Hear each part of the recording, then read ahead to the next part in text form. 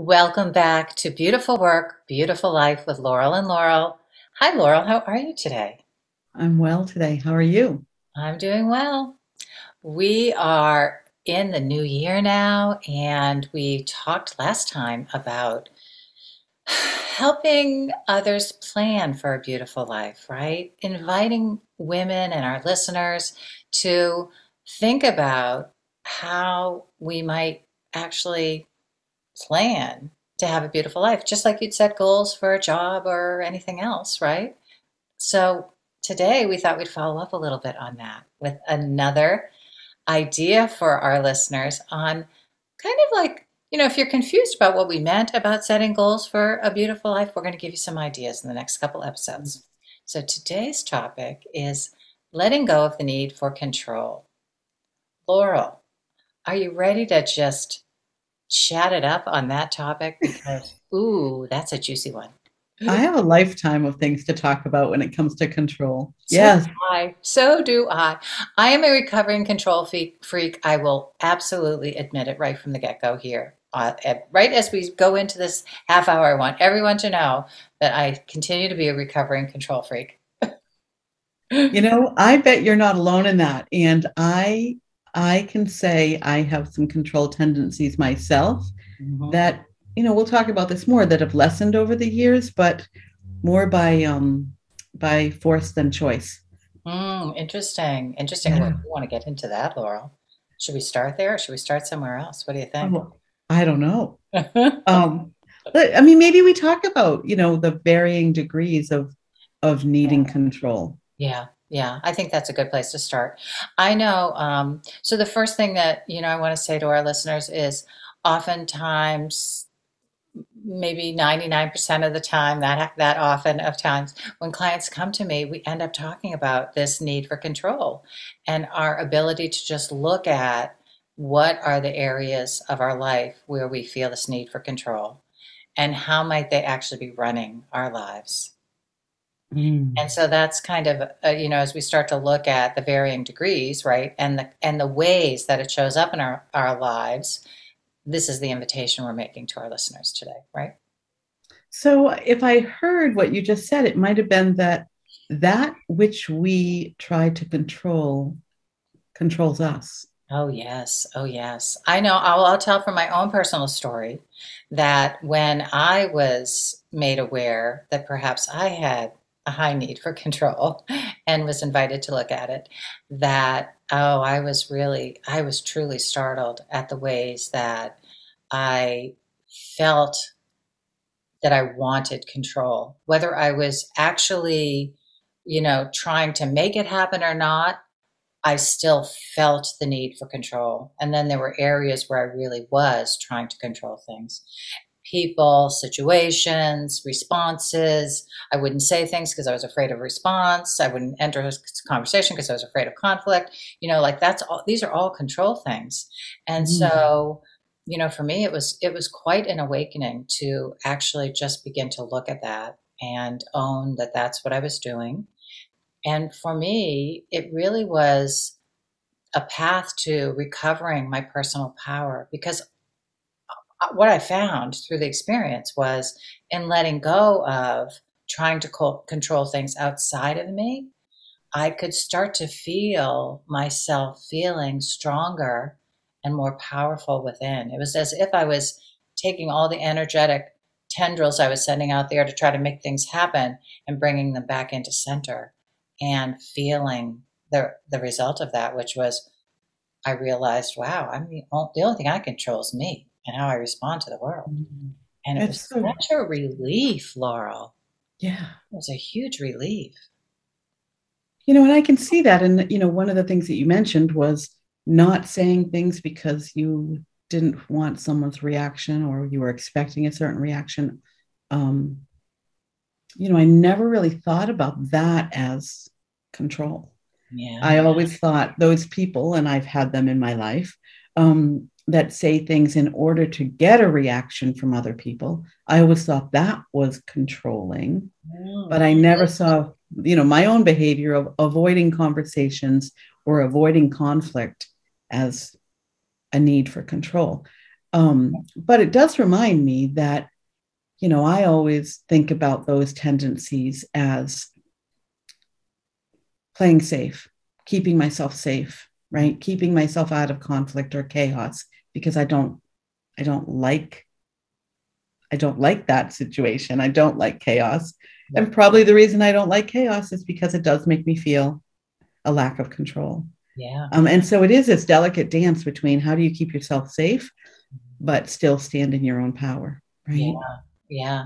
And I I like to think of one of the things that helped me to um to shift that a little bit was as I was looking at this topic that we're talking about and started to give up, you know, my control and realized it did produce a sense of security, a sense of stability, a sense of um, uh, uh, expectation, you know, about mm. what was mm. going to happen that felt felt more more controllable to me. Right? Was I realized it was really an illusion. So I, I started to call it the illusion of security, the illusion of control, the illusion of safety, because really what it was doing was creating kind of something on the outside that wasn't even real. It was like manufactured by me. It wasn't mm-hmm. authentic. Mm-hmm. And I instead was internalizing and carrying the insecurity through that need for control. Like if I let go of the need for control, suddenly I felt insecure. I felt lack of confidence. I felt unstable, right? And so to give it up, I had to find that stability within, right? And that security within. And that's yeah. That's a big, and that ties back into the self trust. I mean, that we've talked about before, but but really, you you have to practice living in uncertainty in order to trust yourself that you're capable of living in uncertain, uncertainty. Yeah, yeah, right. Absolutely. So, Absolutely. so you know, letting go of control doesn't necessarily mean just um, you know I, I often think of the need to control that shows up in what i would call tidiness or you know being particular about how the laundry is folded or how the bath towels are hung right? I can, you, I can, give you, a long list of examples laurel. It's one of my it's one of my pet you know problems. Yeah. Right? Totally and so that you know that is a need for control. But i guess you know digging into it and understanding why that is a need is yeah. you know um and what happens if the laundry isn't folded the way that you want right. it doesn't really matter it's such a worthwhile. It is so worthwhile, and we're laughing about it, and it is kind of silly when we when we really are able to look at. it. And thank goodness we can laugh about it. I mean, we want to laugh about it. We don't. We want to be able to laugh at ourselves. That's one of the things about the beautiful work, right? Is to when we see this aspect of ourselves, right? Like I I love a clean, shiny countertop in the kitchen, right? So, hey, why do I like it? Okay. I really have done a lot of work examining this, Laurel. So I want to say to people, it's a worthwhile pathway to look at because one of the things I've learned about myself is my tidiness has to do with my desire for beauty. And I respect that. I, I'm mm-hmm. I'm good that I desire beauty around me. Like that that I've come to terms with that as being a good thing, right? Because beauty yeah. creates harmony and loveliness in the world, and so I, I feel like it's a positive as you know uh, uh, attribute, shall we say? Yeah. And yet, if it's taken to its extreme, right, I can make myself miserable living with somebody who doesn't really care if the countertop is shiny, right? And so I have to. What I've learned is like make it shiny you know, maybe after I've cleaned the house, maybe once or twice a week, and like look at it, enjoy it. And then the rest of the time when it's not perfect, who cares? Right? It's what it is. And so it's like, it's like fulfilling my beauty desire, but also letting go of like, I don't want to tell my husband, clean up the countertop every time you, you know, make a mess. It's like, he knows what I like. He does a pretty good job, but he's never going to do what I do because he doesn't care like I care. and you know what he likes, and he likes not to clean up the counter every time, right? Right. But like, there, there's, you know, the word harmony, when you were talking about it, right? Your desire for beautiful things and beauty, you know, beauty in your life brings harmony. Mm. Well, letting go of control in situations like you just gave as an example, that brings harmony. Yeah. So what what I was thinking is that you know, we have to identify what is the need for control. How does it show up in our life? What's the root cause? Why do we want that? Yes. And if it's harmony you want, where else can you get harmony? Yeah, yeah, yes. And also, how can that be a positive in in whatever that particular experience is, right? How can you find it in that experience what is the pathway that would get you there right? So for me it's like just enjoying the beauty of the beauty while it lasts not having it to be lasting every moment of every day. It's it's a it's, you know this is a place where it's a working space. It's not a it's not a altar. You know it's like so i mean it could be but it's not. I love altars everywhere in my house. And um and and yet the pathway to that right? If i hadn't examined that really closely and let myself truly tune into and own what it is that I love about it, but I wouldn't have recognized it as part of my desire for beauty. Mm. And that it's an okay thing. Like I, I, don't need to judge myself, right, for wanting a clean countertop. Because that's right. the other thing. When we start to look at all of this, it's really easy to get into a space of judging ourselves, right? Oh my God, why do I do that? Why do I do that? Why do I do that? What's wrong with me, right? It's like, wait a minute, there's nothing wrong with you, right? This is just habits and patterns that we've developed. So, you know, to be able to look at it, like you said, follow that thread, you know, why do we want that? And, and then find how it, how it can provide a piece of that for you, right? Or what the pathway might be to lead into that space. Like, you know, if, if you're always arguing with somebody in the house about the countertops being clean, it's not going to provide harmony. Absolutely not. and you know, when when you mentioned that we were laughing about this, you know, it brought a smile to my face as you were talking about that because one of the things that I now recognize in this moment as you're talking is for years, my decorating of a Christmas tree was methodical, slow, right? And when my children were little, they would decorate with me. We'd decorate the tree, they'd go to bed, and I would rearrange move around, rearrange it. And when they got to a certain age, you know, probably middle school, I don't really remember, but it's about the right time, they started saying they weren't decorating the tree with me. And I had this vision of you know, this merry afternoon, holiday music, decorating a tree together, all the things. Go, the whole thing. and one of them said to me, Well, you're just going to rearrange it after we go to bed. Called you out. Called Completely. You out. and what I realize now in this moment that, so for years, I've decorated my tree alone. Wow.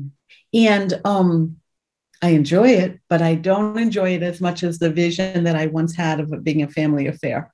Yeah. And so, what I realized in, in as you were speaking is that, you know, m- my need for perfection, control over how the ornaments are placed on the tree,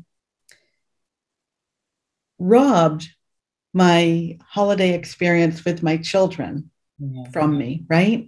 And so maybe that too for our les- listeners, as you start to unravel, what is where does your control tendencies show up, and and what are they robbing you of? So beautiful, Laurel. Oh wow. You know that I'm, I'm so glad that example came into your mind because that's a really powerful example of why we surrender the need to control, why we learn to let go of it, right? And it isn't that we aren't ever going to control things, you know, clean the countertop anymore. It's not about that. It's about the compulsion, you know, that inner, I need to make this happen. And if I don't, there's a problem, right? Mm. Something's going to blow up. And and to be able to look at what that fear is to be able to loosen up to be able to surrender to experiment you know for me it was a lot of letting go of you know going to bed with dishes in the sink oh let me see that's i can't do that i can't do that oh wait a minute maybe I can do that. You know, let's give it a go and let's see how you feel, right? and, and doing it and realizing life goes on. Life goes on. Nothing's falling apart. Nothing bad happened. Nothing disastrous, right? Like to, to do this is such a beautiful journey of of freedom. To me, it was freedom. I mean, that I don't know how you feel about you know letting go of control, but for me, it's like freedom after freedom after freedom. I would agree with you, but I am I may have more control tendencies than I admitted an hour ago. I was thinking, I don't know. Can I go to bed with dishes in the sink? I don't know. Maybe yeah. I'll try that. Testing. I'm going to report back as yeah. my family starts saying, "What is happening?" that's right. That's right. So I and I will say to listeners, do I go to bed with dishes in the sink? No, I don't. But could I? Yes, I could. And did I? I had to prove to myself that I could. And then I could wake up and go, oh, dishes in the sink. Oh, that's not how I want to start my day, you know? And I did it for a little while just to show that I don't have to do it to prove to myself it's it's unimportant, right?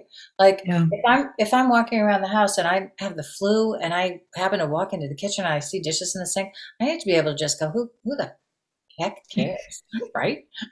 Go back to bed. Yeah. yeah. Yes. Well, and I think that's an important distinction is that, you know, going back to the harmony of, of if our behavior is bringing us something that adds value to our life, then by all means, you know, it's, it's a, it's a positive outcome producing behavior, right? Yeah. Um, but if it is interfering with something that we want in our life or if it brings conflict. So you know i would give the example of you know if i want a loving fun relationship with my husband but his behavior of not being as in control of household duties as i am you know if if that interferes with having what I want, then I really do have to decide which is more important to me.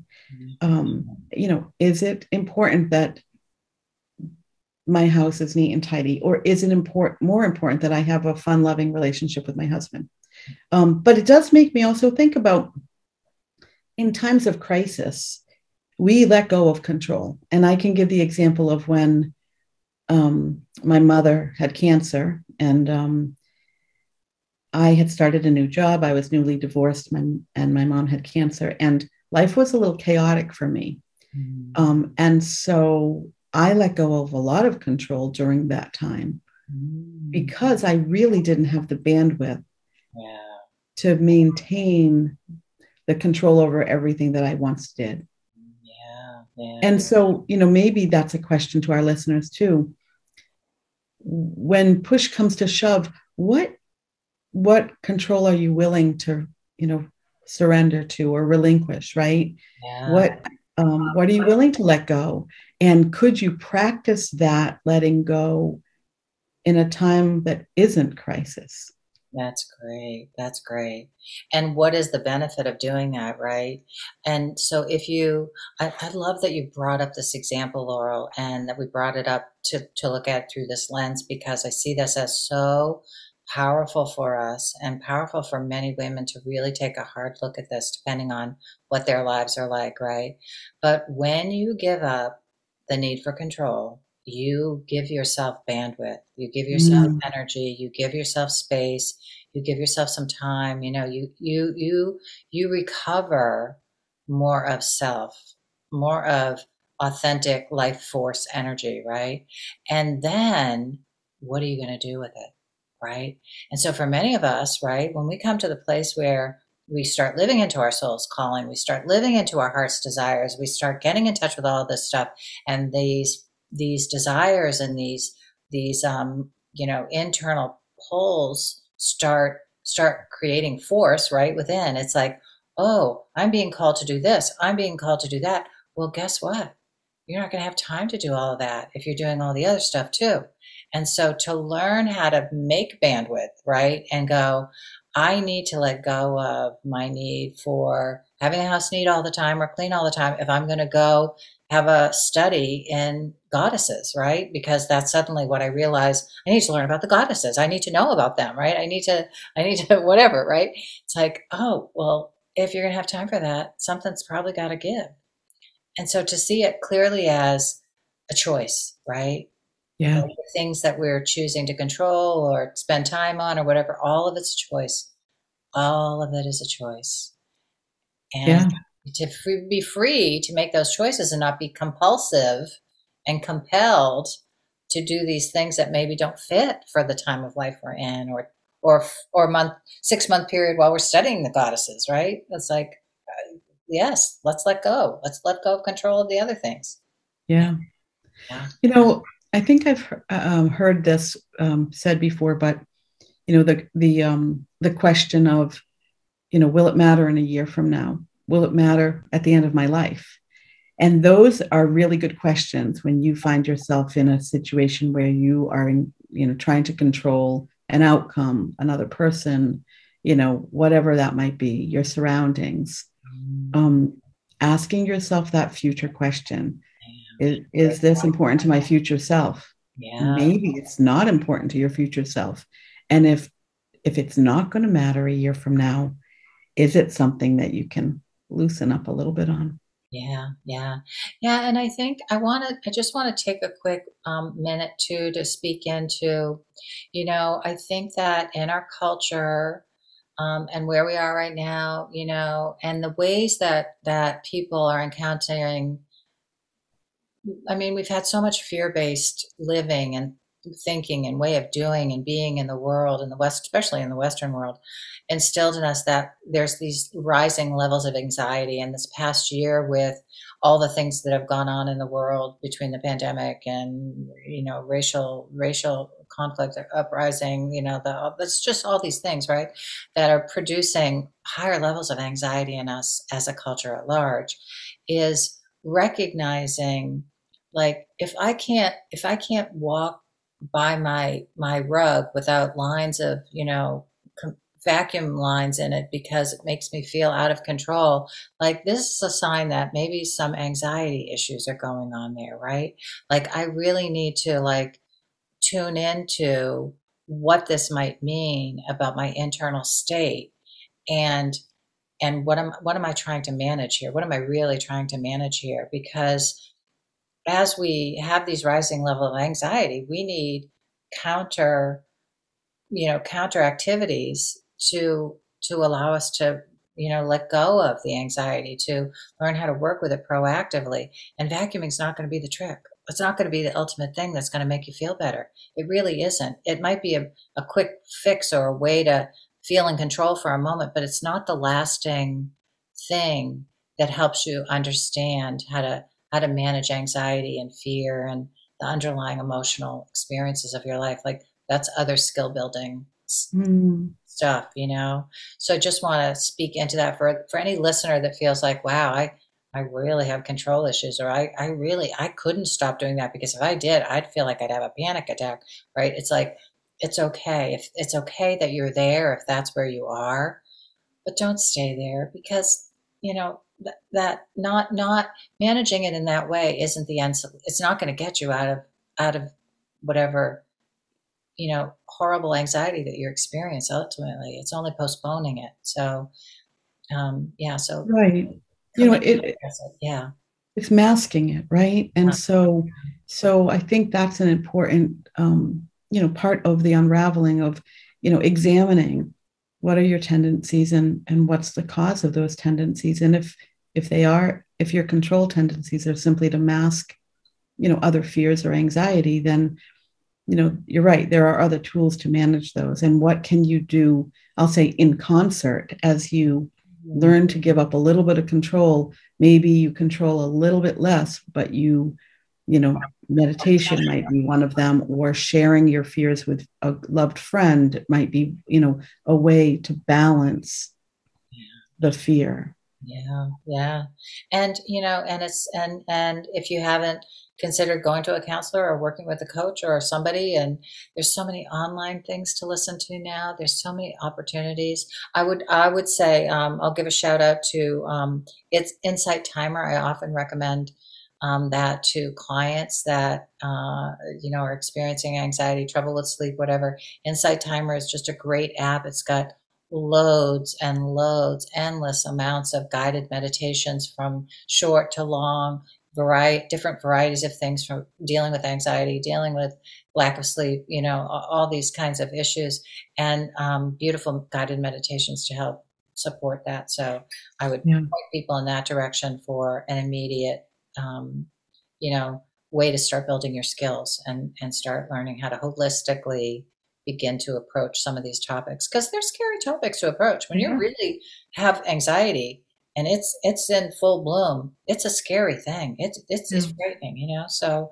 um, yeah to just begin to face it head on and begin to um, you know weave in right? Just like you said you know it's okay to keep vacuuming right? We're not telling you don't do it because it's it's unhealthy right? It's like it's okay to vacuum but but if that's the only thing that you have to help with your your anxiety it's not going to be the thing that's really going to solve your your your deeper issue around all of yeah. that so, so yeah. you know one of the resources i love is um, dan harris's book and it, there's also um, an app now 10% happier mm-hmm. um, and you know that um, really gave me a whole different uh, yeah i guess perspective about him and who he was suffering from anxiety you know while he was on camera in front of the world being pulled together and articulate and reporting on you know all of the world events. And um, that app 10% happier is a good one as well. Yeah. There's several. We can put those in the the show notes today. Absolutely. Absolutely. Yeah. Yeah, yeah. yeah. so what else coming up for you laurel? Did we get to your topic? Because i feel like we opened up with something about feeling like you ended up kind of being forced to let go of control. Oh, sure, sure. So I feel like we know, didn't catch that thread, and maybe that's a thread that we could add in here before we close out. well, I think you know um, the key to that was really making decisions on what am I getting from this, and and is it worth sacrificing my need to control in order to get something else I want. But you know, I have. I said I had a lifetime of experience with change, and um, you know, I think there was some control issues in, between my in my first marriage between my husband and I.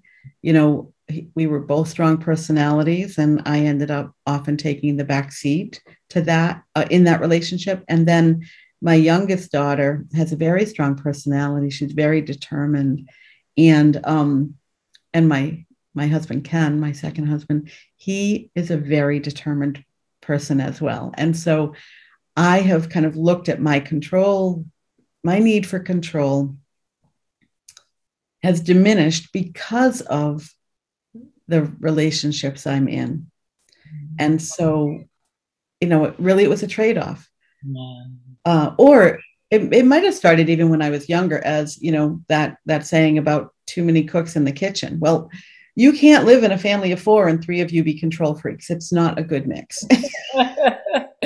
so you know maybe i was control controller number three um, because i i chose to give you know to be less controlling in order for harmony as you mentioned that word i probably never thought of it as harmony before but those relationships were important to me mm. um, and so i could relinquish some of my own need for control mm. um, and i think that's important to know you know what do you you know what can you what can you bring into your life if you're willing to take controller number three um status?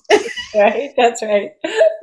You know i mean and and i think that it, this is true with control. Um you know i like calm. I don't love chaos. Um which is probably another topic for another podcast. I mean, I loved chaos when I was working for an electric utility in storm duty. I loved storm duty.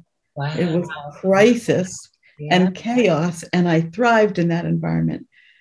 But I had authority, right? And so in my personal life, I love calm. I love chaos. I like uh, I like my home to be a certain way, so that I my mind can rest and relax. And but I think you know, in every relationship, in every life, we have things where our control comes up and and makes itself known, and that is what I have grown to learn to do is decide is the benefit of that control keeping me from having something else I want, or is it bringing more joy and love into my life? Right. Yeah, um, yeah, and so, yeah, it's, yeah, it's, I still, you know, when we, you know, I read a lot about surrendering and I pray almost every day for to learn how to surrender. Mm-hmm. Um, but I think there's something to be said for that in that, you know, we live in a world that we can't control everything. There's a lot of uncertainty every day and we fool ourselves into thinking that we're in control mm. as a way to manage the you know the the stress of uncertainty but being so focused on the outcomes and control i think it lessens our ability to see opportunity in uncertainty right yes I agree. and so you know even at home maybe there's a better way to hang the towels in the bathroom that I haven't discovered yet. and I will never discover if I continue to do it my way. That's great. Well, Laurel, I have a feeling that we could probably talk um, for another, you know, two hours on this topic without missing a beat mm. because I feel like it's such a rich topic and so much to say. So maybe we'll come back and do a part two later in the year. We'll see. Um, Laurel, questions yeah. for our listeners? Any follow up uh, things that we maybe haven't? I know we had some other questions in here, kind of embedded in this mm. um, time, but any uh, anything else coming up for you? Uh, you know, to invite uh, our listeners to to do some beautiful work here and do some self reflection. Well, I think you know, go, knowing that you know this ties this topic ties into creating the life you want in the new year, right? So mm-hmm. um, maybe the question to ponder is what control in the past or what in your what in the past have you done out of a need to control that didn't prove itself worthwhile and right Mm, yeah, yeah. And maybe, you know, is there an area that not to repeat? Mm. You know, some control tendencies that you've used in the past that were not helpful. Yeah, yeah, that's great. That's great. What what what did you learn? You know, from that past right. So right. You don't, so you don't, you, you, you're clear in not repeating it again, right? It's, and it's one of the ways to, um, learn how to consciously let go of control, right? Is to be able to see it for what it is, acknowledge it for that, and not have it be kind of there and subconsciously I'm just going to repeat it again. So I love that. That's great. Yeah. Great. Yeah. What about you? I think what's coming up for me is, um, you know, for anyone really wanting to dig into this topic and ready to get serious about it and and feel the freedom of of what what the what the beautiful work you know can be the result um, is to look at the places where you know right now you have a high need of control. And then let yourself answer what is the worst thing that could happen if I let go of control? And really, you know, do some journaling, do some writing, really acknowledge, like, because I think that question helps us get to the underlying fear of what what's going on here, you know?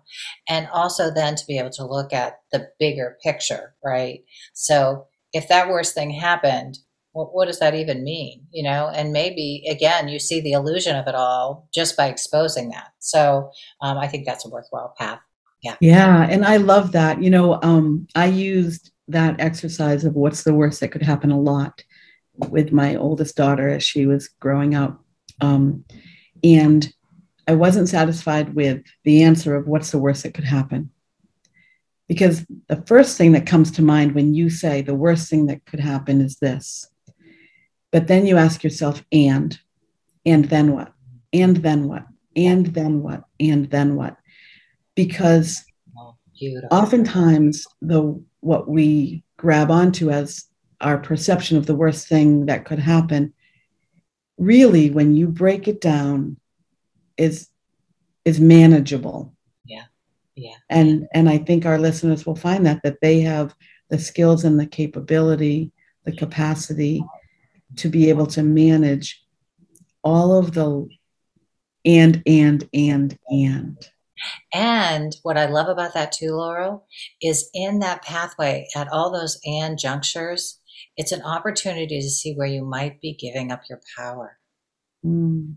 which is a beautiful thing, you know, to begin to acknowledge woven into there. Because this is truly a pathway to regaining our power. I can speak personally from that and professionally. You know, I watch my clients all the time as they give up their power and see, oh my gosh, the world didn't end and my relationship's still intact and blah blah blah right? It's all okay. Yeah yeah. It's that's good. Beautiful. Beautiful. So beautiful. good. Hmm Thank you, Laurel, for being with me today. And let's make sure that we invite any listeners that don't know that we have a closed Facebook group where you can come if you'd like to be part of it. We do follow up with our podcast topic of the week. We ask some questions. We usually do some lives. And, um, you know, Laurel and I are both in there chatting it up on the topic. So come and join us and get get in and dig in with us even more.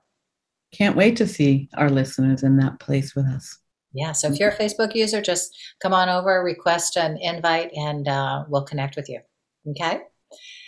Okay, Laurel, we'll see you next week for more beautiful work, beautiful life. i'm looking forward to it already Me too. Bye for have now. a good day bye Bye.